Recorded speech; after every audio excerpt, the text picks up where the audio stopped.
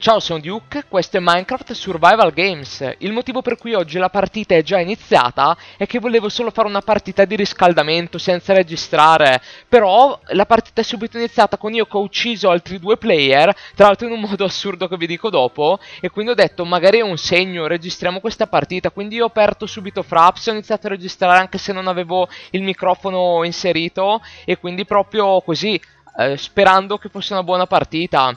E la cosa assurda è stata che uno dei player che ho ucciso cercava di scappare da me, aveva una barca, mette la barca in acqua, però invece che metterla bene nell'acqua, gli va per metà sulla terra. Poi lui sale nella barca, però non sapete, non, non ci si può muovere quando si è per metà sulla terra. E quindi è rimasto lì bloccato nella barca, come uno scemo, scusate, ma ci sta davvero. Era assurdo, era lì fermo in una barchetta sulla terra senza muoversi. La situazione situazione più assurda che abbiamo mai visto. Mi sono quasi sentito in colpa, ma gli ho dato due o tre spadate ed è morto. Comunque, in questa partita, la cosa positiva è che ho trovato subito una buona riserva di cibo e soprattutto anche un arco.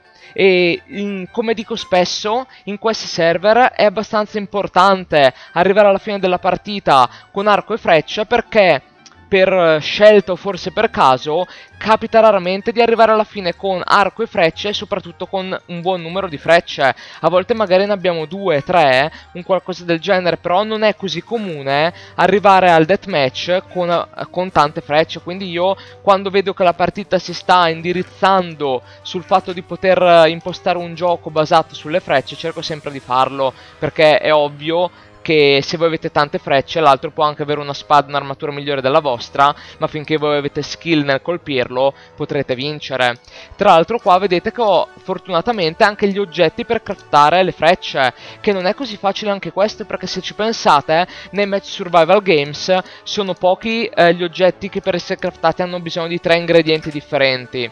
Poi sempre esplorando, andando in giro in tutta questa zona della mappa, trovo altre due frecce e la bussola che anche quella è importante importante. Tra l'altro questa è stata una partita molto aggressiva perché il numero dei player vivi è sceso molto rapidamente, quindi vuol dire che tutti giocavano in modo molto aggressivo, che mi piace sempre. Tra l'altro la bussola mi è utile perché di notte mostra dov'è il supply drop e di giorno ci indica eh, quanto è distante il player più vicino e questo ovviamente è positivo così non ci facciamo fregare da quelli che magari non so, arrivano mentre noi stiamo aprendo una cesta e ci uccidono, cosa che a me capita spesso, quindi ho imparato a essere prudente e controllare sulla bussola.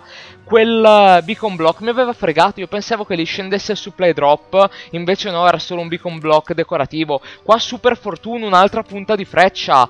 Qua iniziate a capire qual è stato sicuramente il mio ragionamento mentre giocavo. Guardate eh, quante frecce io riesco a produrre in questa partita. Torno a cercare la la chest però qua esce la scritta che si può far partire il deathmatch. Allora io scrivo slash dm voglio essere io a far partire il deathmatch perché sono confidente sul fatto di potercela fare con le mie frecce a vincere il deathmatch. C'è solo un'altra persona quindi è un uno contro uno onesto non è possibile che ci siamo team o uno contro due situazioni del genere e io sono abbastanza confidente nella mia skill con l'arco e quindi decido, sì, so che avrò un buon numero di frecce, ho una spada abbastanza debole, perché vedete è una spada d'oro, l'armatura è media, media buona diciamo, chainmail quasi completa tranne gli stivali che ce li ho di pelle, qua vedo che arriva il frost, il super freddo e quindi mi allontano perché è stupido prendere danno dal frost prima del deathmatch e inizio a camminare. Qua sto un attimo pensando a come imposterò il mio gioco e ovviamente devo basarlo sull'arco.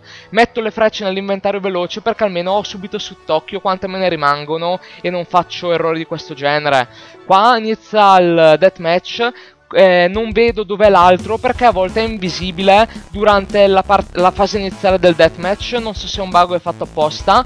Qua cerco di capire dov'è l'altro e eh, non fare errori e finalmente eccolo che arriva. Carico subito l'arco, ma lui oh, così capisce che io ce l'ho, ma attacca lo stesso. Sbaglio le prime due frecce eh, e qua dico cavolo cosa sto facendo. Devo riacquistare la calma, mandarlo alla giusta distanza, lo colpisco con la canna da pesca, non gli sparisce. Non so perché mi colpisce, forse è un bug. E qua lo colpisco bene, ancora lo colpisco bene, lo colpisco bene, guardate lo mando nella ragnatela con le frecce, qua raffica di frecce, lui non può muoversi, lo uccido. Qua è stata davvero una mossa che mi è piaciuta un sacco, Lo, gli ho sparato la freccia girandomi, è andato proprio sulla ragnatela e così sono riuscito a vincere una partita che mi ha dato davvero soddisfazione perché è bello non tanto la vittoria in sé, quello ok è divertente ma il punto è che eh, all'inizio della partita ho deciso di seguire una certa strategia, di basarmi su arco e frecce, la partita si è sviluppata eh, secondo quella strategia, ho trovato più frecce, ne ho craftate altre ancora e alla fine del deathmatch è andato proprio come volevo io e sono riuscito a utilizzare bene le frecce, quindi mi sono proprio divertito e mi ha dato soddisfazione. È tutto per oggi, spero che la partita sia piaciuta anche a voi e ci vediamo al prossimo video. Ciao a tutti!